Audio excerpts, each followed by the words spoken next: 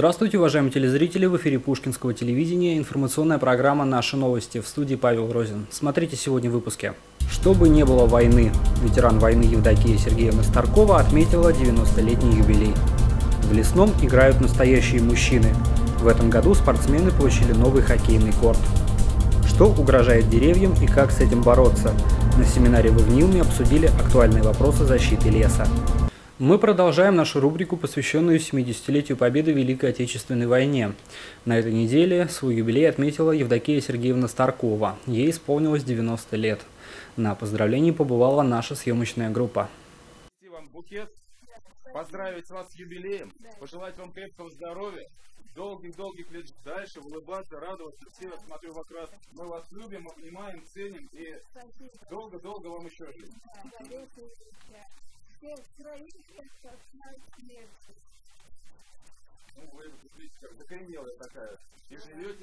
Разрешите мне поздравить вас от нашего президента Владимира Владимировича Путина. Да. Медаль он вам вручил. Да. Через нашего главу Сергея Ивановича. Спасибо. А я вручаю хорошие, добрые слова. Да от от него за его личной подписью только для вас. Да. Слова благодарности да. и уважения. Учитывая, что вы с 50-го года здесь, на территории да. города, я думаю, будет очень интересно, это тоже поздравительное письмо Здоровье. наше. И э, книга об истории Пушкина, да. я думаю, когда ее пролистаете, да. найдете много э, интересных страниц, да. которые напомнят вам о вашей молодости.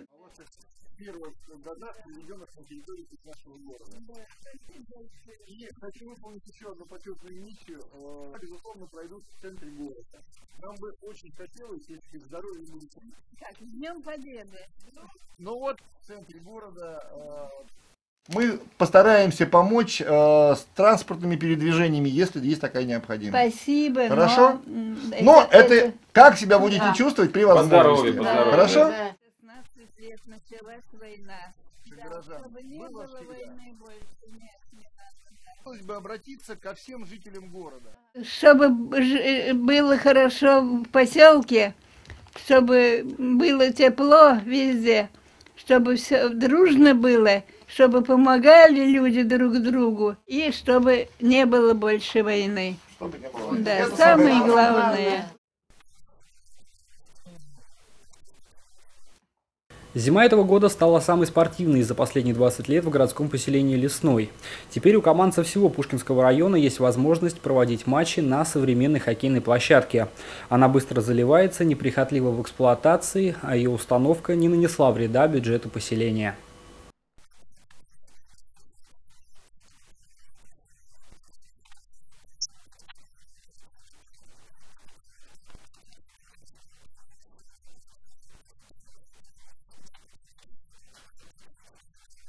Давно вынашивалась идея постройки того красивого катка, хорошего, качественного.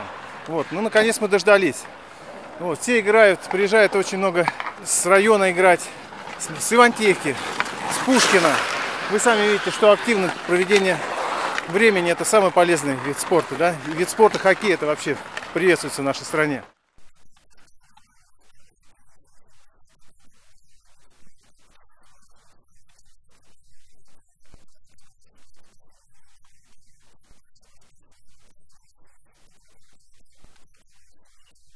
Пришел посмотреть сегодня вечером, как проводится досуг в нашем дорогом любимом поселке Лесной. Зашел на хоккейную площадку, радуется душа. Приравниваю ко всему району нашему Пушкинскому, немного начинаю плакать. Вот посмотрите, как сегодня красиво играют ребята. Хоккейная форма, слаженная команда. Вот видно, что люди уже тянутся. Перед этим буквально два часа назад, вот пока вас не встретил, играли мальчишки, ну, школьники наши. Тоже у них есть своя хоккейная форма. Ну, уже приятно, они тянутся и, и видно слаженный такой дружный коллектив.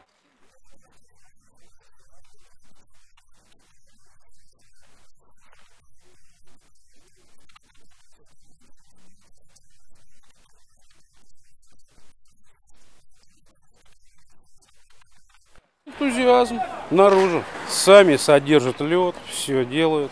Единственное, что да, администрация молодцы, помогли всем. Шланги, вот, форма была закуплена, вовремя закуплена форма.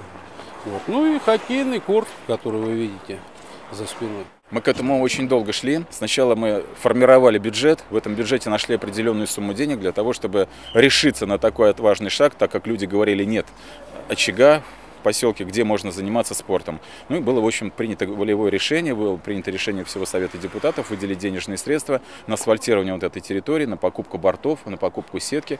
И вот за прошлый год вот то, что вот это детище было сделано, вот оно сегодня воплощено в жизнь.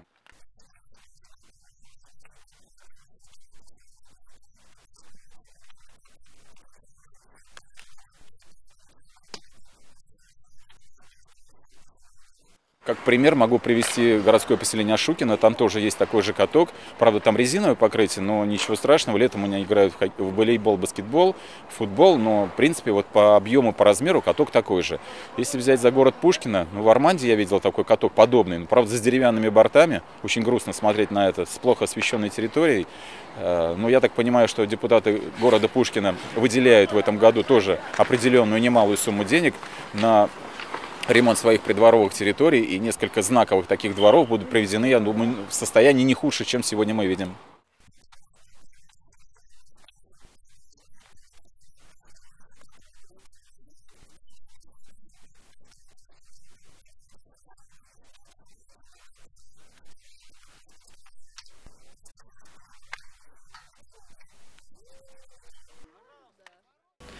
Среду во Вниуме был проведен семинар по вопросам борьбы с опасными вредными организмами древесных растений. Его организовали совместно со специалистами Главного ботанического сада Российской Академии Наук. На семинаре анонсировали новые методы противоборства насекомым вредителям и болезням городских зеленых насаждений.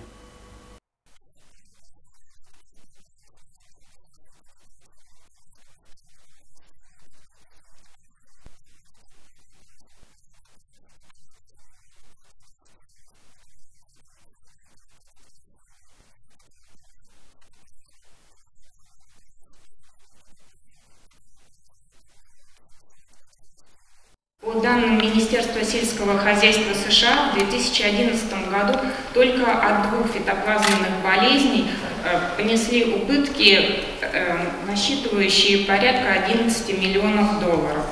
Э, по Европе примерно такие же цифры.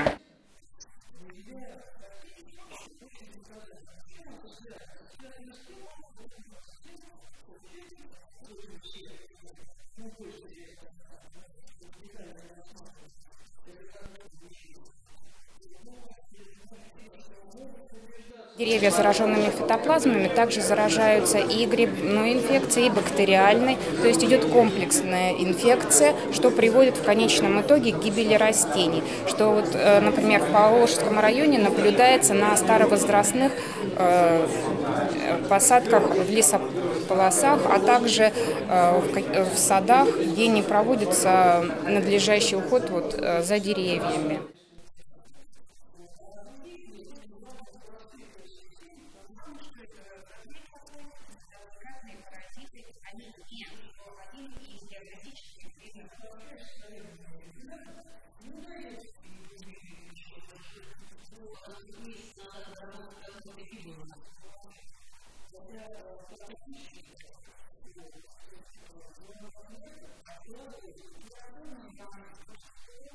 Златкой был нанесен большой урон коллекции ясеня, и с полиграфом та же самая ситуация, то есть те виды, которые восприимчивы, они практически полностью погибли, они убраны, идет восстановление порослью, но, в общем-то, как бы это такой процесс не быстрый.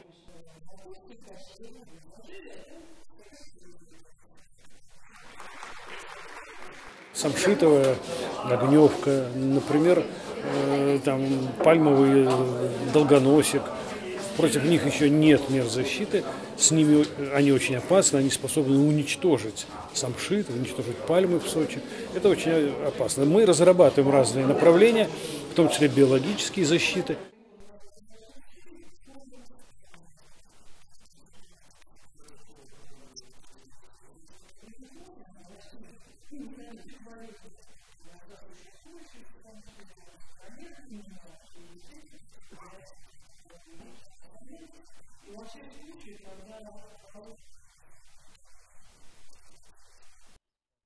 Уважаемые телезрители, в среду 25 февраля на Пушкинском телевидении состоится прямой эфир с участием главы города Пушкина Сергея Ивановича Гулина. Мы ждем ваших звонков и вопросов. Эфир начнется сразу после выпуска новостей в 19 часов. На этом выпуск новостей подошел к концу. Спасибо за внимание. Смотрите Пушкинское телевидение. До свидания.